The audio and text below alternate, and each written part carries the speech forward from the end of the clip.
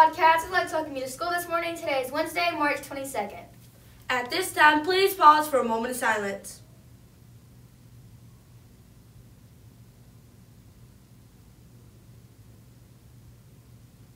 Thank you.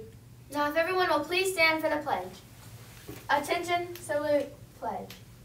I pledge allegiance to the flag of the United States of America and to the republic for which it stands, one nation, under God, indivisible, with liberty and justice for all.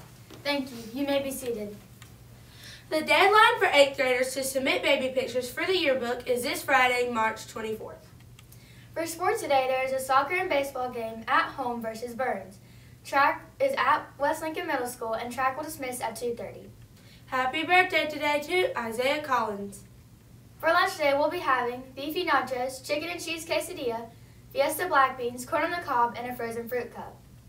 That concludes our morning news. Hope everyone has a wonderful day. And remember, a Wildcat roars respect, ownership, attitude, responsibility, and safety.